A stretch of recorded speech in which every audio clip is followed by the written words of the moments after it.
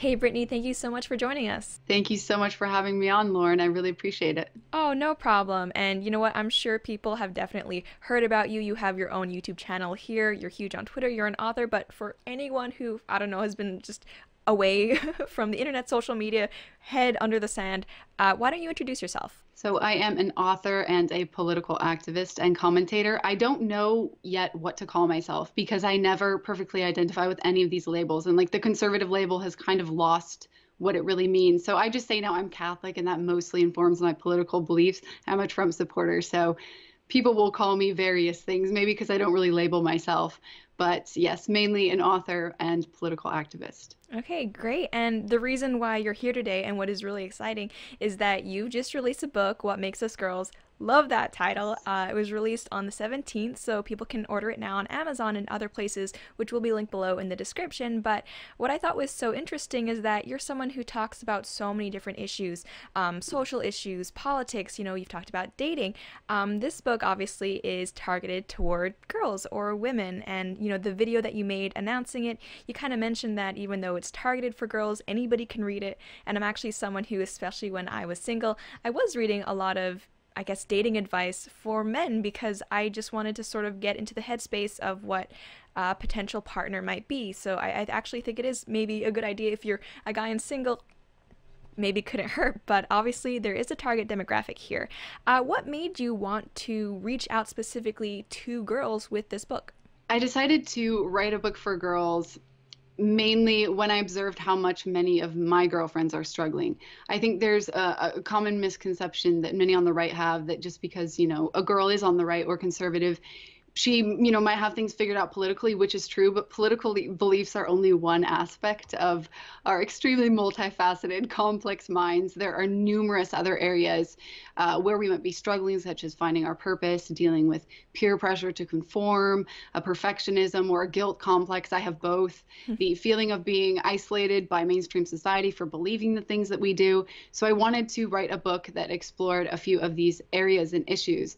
And uh, you mentioned before that that men might find it interesting as well. I actually just received a, an email this morning from a young man. The the book was re, it was released yesterday, and he already finished it and really loved it. I've received some from women as well, and it's amazing to see that actually both can enjoy it. But it really it, like nothing makes me happier than to feel um, to to receive these emails and see that women actually are relating to what to what I've said because I had to be really honest, and a lot of it was uncomfortable to write. So I'm very happy that people so far at least are receiving it well. Mm-hmm, definitely. And I feel like lately, I mean, for the past, I'd say, especially five, ten years, there's been this effort to sort of erase any of the differences that make us girls, that make us men, to try and make everybody conform into this sameness. So um, I think it is really cool when we get to step back and say, hey, maybe this is more of a feminine perspective or a masculine perspective. Mm-hmm. And I, I, think that's great. Uh, definitely something I think both people should be able to enjoy. Um, speaking of femininity, uh, there's been an attack on masculinity uh, in our culture. I think everybody can kind of see that if you look at things like toxic masculinity classes. It's, mm-hmm. I guess, no secret that uh, I guess manhood doesn't have the positive connotations that it used to. Um, mm. I guess on the flip side of that, what is your opinion about femininity? I mean, what what exactly does that term mean anymore? And is it even something worth worth pursuing? Because I think similar to how masculinity has been put down, though perhaps to not as great of an extent, we we've also seen some I guess social activists kind of trying to tell women that maybe femininity isn't all it's cracked up to be. Right. Well, it seems like they're encouraging women to kind of usurp the male role, but then when they usurp the male role, they're attacking men who are in the male role. So saying you shouldn't be there, and, and women are kind of usurping. It's very strange. Uh, I actually do talk about this in my book, both the masculinity and femininity and the attack on men. But in my opinion, femininity is definitely something that cannot be faked because it starts from within. It's something that women radiate, like in the way they speak, dress, act, carry themselves, and, and even the way that they feel. I think personally, Grace Kelly is an absolutely wonderful example of a feminine woman. And some of the most common traits that can be associated with femininity are being nurturing, caring, gentle, compassionate, polite, protective, so many things. Uh, women who embrace um, and highlight the the more natural differences between uh, men and women that they have from men, the natural differences, they tend to be the most feminine, uh, at least in my opinion. Uh, it's very interesting, though. I'm I studied writing for 10 years, and if you study traditional story structure, even in traditional story structure, the male and female myths are completely different. So the male myth is divide and conquer and the female myth is combine and grow. So even there, they they recognize these differences, and and you can go and study through all the steps. They're very much the feminine myth is female myth is associated with this combining and growing, and not what they're encouraging so many women to be today, which seems to be more recent, at least the past few decades. It was never like this, and it's a complete transformation, a complete flip, and confusing a lot of people, I think.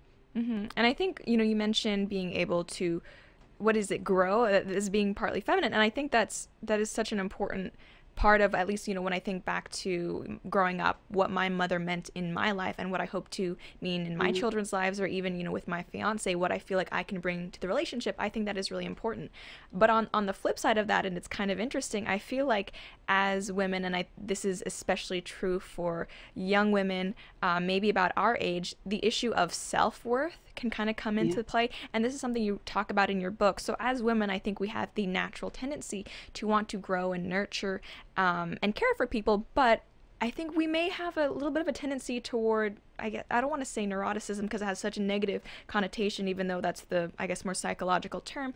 But uh, I guess to really question and doubt ourselves, uh, that's something yeah. that you talk about in your book, um, which I think is so important.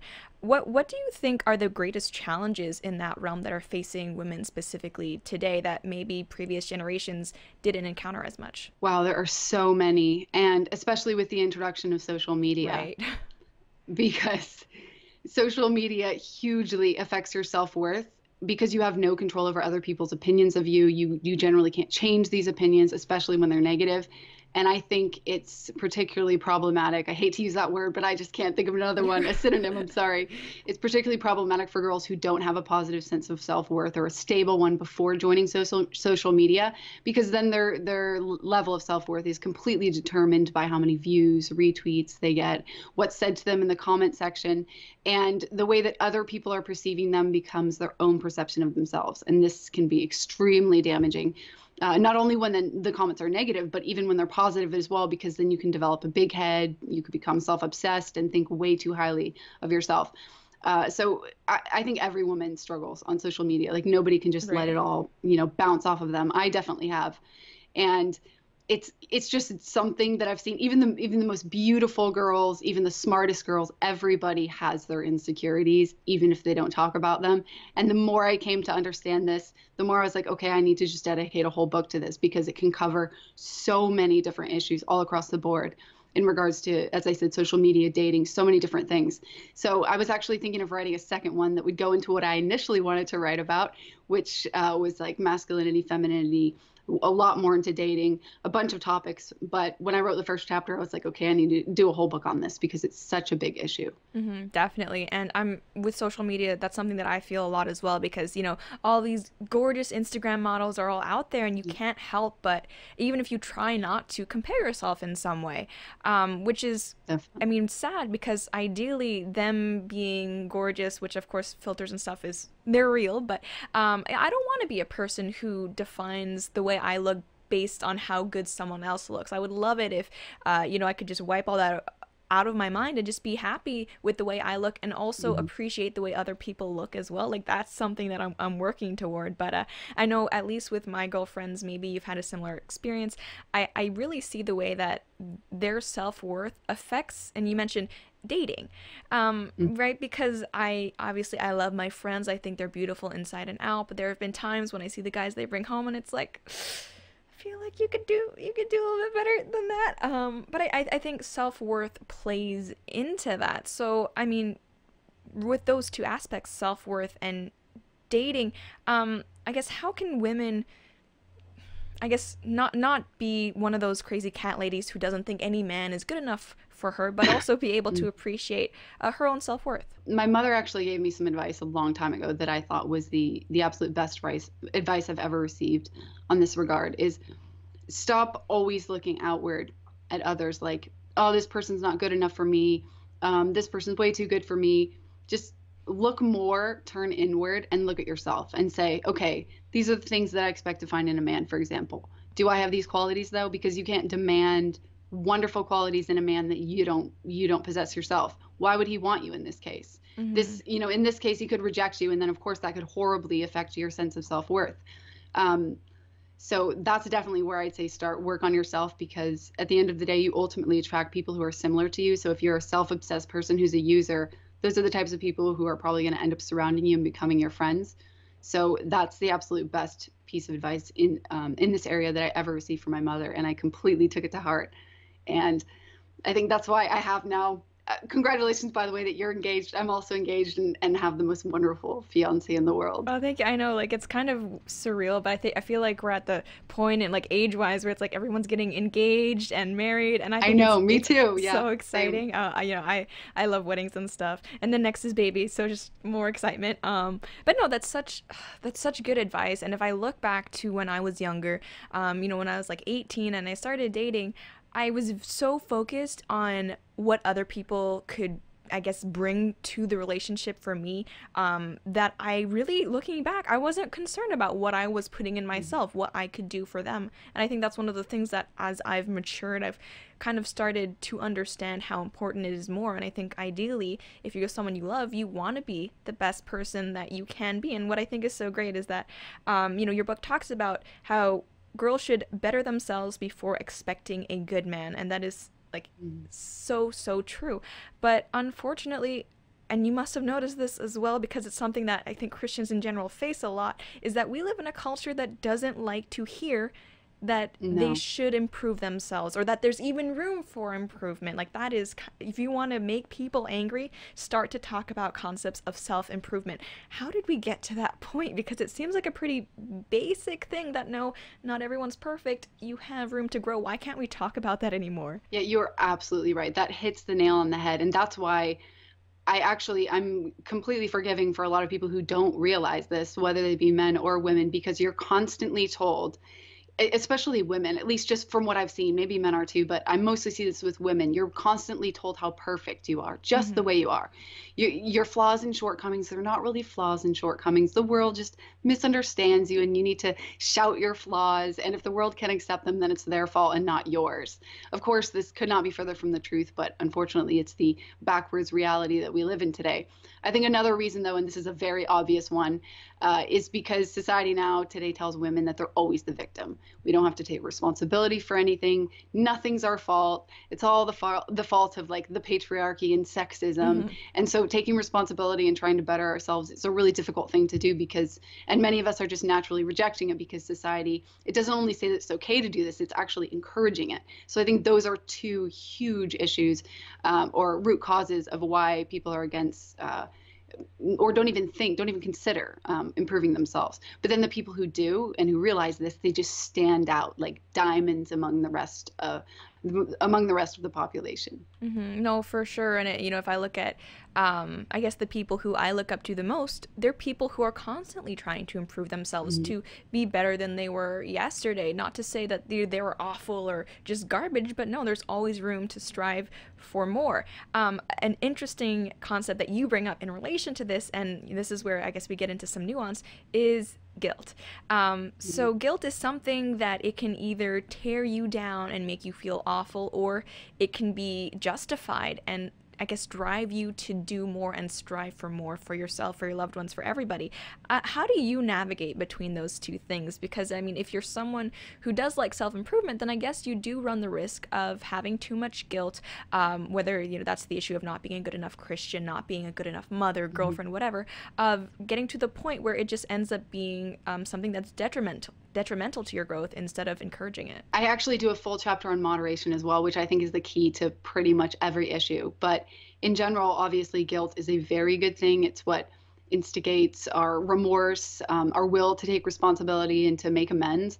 But it can become extremely tyrannical if we allow mm-hmm. our guilt to hinder us from ever being able to to um, forgive ourselves, which is something that I've struggled with my my whole life. Um, I've had a terrible guilt complex. I don't know if it's because I'm Catholic, but it's awful and it annoys the people around me But um, I think negative guilt or you know unhealthy guilt is mostly associated with people who have perfectionism complexes, mm-hmm. and I know so many people like this, and I've struggled with it, and my twin sister has as well. So, like for example, when I was in my teens and like writing a chapter of my book, if I if I finished a chapter and thought it wasn't absolutely flawless, which I usually did, I would delete the entire thing and start from scratch. And I would torture myself just day and night, day and night, thinking I was falling short. Why can't I be, you know, achieve this level of skill or be as good as this writer? And it was extremely difficult to come to term with my limitations. But once I did, I was so much happier and I actually got stuff done. I was productive. And the things even if they weren't wonderful, they were they were far better than than I was judging them as. So, I think in that sense, guilt can be really a really bad thing and you just have to get come to terms with your limitations, be able to forgive yourself. And then on the other hand, you'll usually recognize guilt when it's a good thing. Like if you've done committed a horrible mistake and are feeling guilty, then that's usually a very good sign. Yeah. So it's just about finding the balance and being able to distinguish them. Mm-hmm. And it's interesting that you mentioned being able to distinguish stuff because something else in your book that eh, that you cover in your book is bullying. And you know, as two people yeah. who are on the internet, I- am sure you and I hear a lot about this. Uh, maybe experiencing mm-hmm. it's experience it in different ways. Um, the issue of bullying gets talked a lot about, uh, mm-hmm. especially when it, maybe the issue of feminism comes up, uh, social media specifically. You you distinguish between, I guess, real bullying and what is more akin to fake bullying in your book. Would you mind yeah. giving us a little bit of a rundown on how you would um, differentiate those two things? Of course. So initially i was super hesitant admittedly to write a chapter on this subject be, particularly because we have so many overly sensitive people today who think that criticism or even disagreement equate to bullying and this of course is just simply not true criticism or you know another word constructive criticism is when someone criticizes you it could even be rudely but their intention is to help you. Uh, for instance, uh, I link sources in my video that are are incorrect and somebody says oh your sources are crap. You should have done your homework uh, before filming this video. I can provide you with a better source. Of course they said it a bit rudely but they are trying to help me. So it's what the intention is. Um, and dis- disagreement is just simply having a different opinion which is perfectly natural and healthy for a society but um, it can devolve into bullying, which is what we see. For example, the mainstream media disagrees with us, and as a consequence of this, they bully us all day long by trying to ruin our reputations, attacking our sources of income, trying to get us deplatformed, like really just to completely destroy our lives. So it so essentially i would say bullying is attacking someone with no regard for their end goal just because you dislike them and i go into detail about many reasons that people bully i actually did some you know research on this um, read what some therapists said um, but as I said before, initially I was really hesitant to write this chapter until I realized that actually it's something that a lot of men and women struggle with today. Some of us might not be bothered with it, um, especially those of us who have been on the internet a long time, but I don't think it's fair to apply like our level of strength or how much we've become desensitized to to every other person in the world because there are a lot of young people that are extremely sensitive and it's a real destructive force in their lives and that's why I decided I just felt compelled to write this chapter, and it actually turned out to be one of the longest ones in the book. Mm-hmm. And that's that's a great word to use for I think at least the way that I've come to look at things like bullying. Um, and, and obviously like I think it's great that you differentiate between like actual criticism or arguments against what you're saying versus bullying, but it is you do become desensitized, and that's something where it's yeah. like it's not that it becomes less bad, but it's just you're used to it. Uh, so that's I mean, and that's not ideal, but it, it's unfortunately like a reality. You can't do jobs like we do without, I guess, having to say yeah i mean they're going to say awful things i have to i guess put on a little bit of thicker skin. Um, but there's also this interesting dichotomy because while we've as a culture become so quick to label anything that's uh, against what we're saying or critical of what we're saying as bullying we've also in a really weird way gotten used to turning a blind eye to bullying. That does happen. Definitely. and something that you mentioned in your book which i think you're really brave to talk about because this is absolutely something um, that people especially when it's women talking about it can get attacked for ruthlessly. Um, is the problem of women bullying men, or I guess in general, us not being concerned when it's men that are the victims of bullying. So, would you mind talking a little bit about that? Yeah, absolutely. Actually, half the chapter in my book, it, it, the first half is women bullying other women, and um, then it's women bullying men. So, this definitely happens way too often today. Nowadays, just what, what I usually like to use an example is just like an average boy in middle school who's just minding his own business, focusing on normal things like his friends, sports team, uh, his schoolwork, video games. And suddenly, you know, daily as he goes to school, he's barraged with a million accusations about the patriarchy, toxic masculinity, how he's evil for nothing that he personally did, but for what he is a man. So, how the heck is this young boy supposed to form into a healthy and stable man? He probably never ever will. He'll become resentful of society, perhaps resentful of women in general, and either retreat into himself or lash out in anger. And kind of on that note, I often see feminists, for example, complaining that men aren't respectful and that they're just giving up hope on all men in general uh, because they're irredeemable. But have these women ever considered the possibility that they aren't being respected because they give absolutely no respect in return? Why would a man want to be chivalrous towards you, opening doors, buying dinner, complimenting you, if all he gets in return is an angry spiel about how toxic and oppressive he is? If we want respect from men, we first have to be willing to give it to them mm-hmm. or you know what like what's the deal there? It's completely raw. Right. And i think that that's something that we've so forgotten about and especially it's something that i think uh, a lot of feminists activism completely overlooks is the concept of reciprocity of you know mm-hmm. you want all of these things from men but at the same time you're not willing to give them anything in return. Like you just berate them. Uh, so that's such a great point. Uh, the last thing i'd like to talk about again something that you dedicate some chapter or a chapter in, in your book is purpose. And this is like i mean this is a huge issue. Could talk about it forever. Uh, but that is something that especially when i um, you know was in university and maybe even uh, you know a few years after i graduated was really struggling with because um, and you know not to say that men don't struggle with this as well but as women we are in the position where we have choices to make um, you have limited time, limited years on this planet, um, about things like motherhood and careers and education, and we want to pursue what's meaningful. And I feel like, um, you know, we're often being told, yes, career, education, and that's obviously important. Uh, you know, obviously you're a very accomplished person, so you you definitely have those down pat.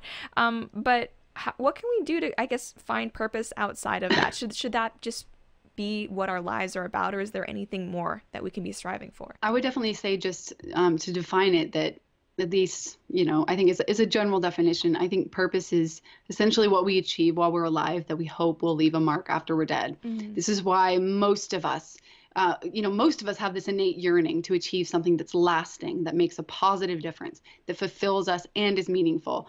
If we don't, re- even if we don't realize this right away, we're eventually going to realize it, and by then it could be too late, which you know is devastating and happens to a lot of people. But I definitely think that purpose can extend beyond a career and education. In fact, I, I actually wouldn't even say that education is a purpose. It's more of like a stepping stone towards the career you're preparing for, which is your purpose. And that said, though, we definitely don't only have to have one purpose. I think we have to have a main purpose, but most of us are capable of multitasking, such as having both a family and a career. But in my opinion, family is is definitely one of the most noble pers- purposes that that you can strive for, particularly if you're a good parent. Um, you know, not like abusing your kid, of course, then it loses its nobility. But um, having a family is going to leave a lasting mark. It's the opportunity to raise amazing children who are not only going to fill your life with joy and also a lot of heartache, probably, but they can also possibly then go on to make positive differences themselves. And so you leave this this chain of people leaving lasting marks. And so, like the mainstream might not understand the value of this anymore being a mother and a father. But if you go to the fellow mothers and fathers in the world, they certainly understand the value of it. Absolutely.